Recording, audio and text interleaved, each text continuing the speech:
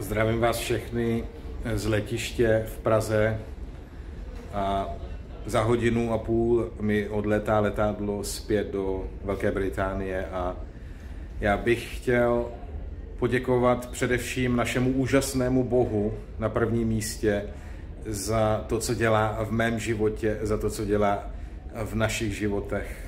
My sloužíme úžasnému Bohu, nádhernému Bohu. Takže vzdávám všechnu slávu a chválu našemu Bohu. Bůh je hoden, Bůh je úžasný. A chtěl bych také poděkovat vám všem, drazí přátelé, v těch různých městech a místech, ve kterých jsme se setkali. Posílám pozdravy do Vídně, do Bernolákova, do Liptovské Lužné, do Dolního Kubína, do Nítku a Bystřice, do Ostravy, do Znojma, do Hodonína, do Čáslavy, a do všech ostatních dalších míst, ze kterých jste přijali na schromáždění a setkání, ve kterých jsem měl možnost sloužit a kázat Božím slovem.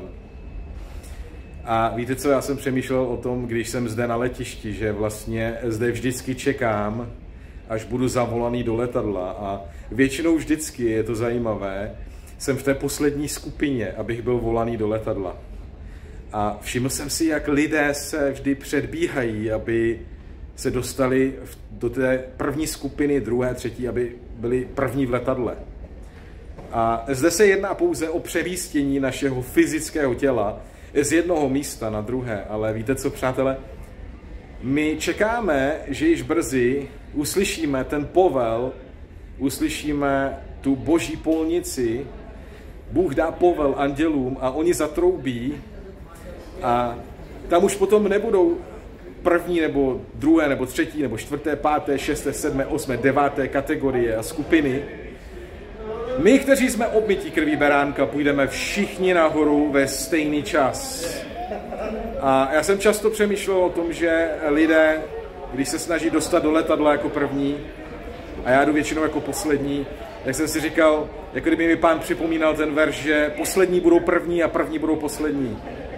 Realita je taková, že my potřebujeme mít ve svých rukou pas, to, že jsme obmytí krví Pána Ježíše Krista, to, že ta nová smlouva, kterou on napsal svoji krví, se stala tím pasem, kterým my vcházíme do nebe. To je to hlavní, co potřebujeme mít ve svých rukou. A to je to, co i zde zanechávám v České republice, když se vracím zpátky do Velké Británie. Ujistěte se, že jste byli obmyti krví beránka, že jste byli obmyti Pána Ježíše Krista krví, tou svatou krví, že jste byli vykoupeni. Volejte na jméno Ježíš, hledejte Pána Ježíše. A já posílám požehnání vám všem ostatním, kteří sledujete náš kanál. A děkujeme vám za vaše modlitby, pokročíte v modlitbách za nás. My se zase modlíme za vás a ještě jednou posílám požehnání vám všem. My vás milujeme v pánovu lásce, buďte mocně požehnaní. Přátelé, Maran Ata. Pane, přijď.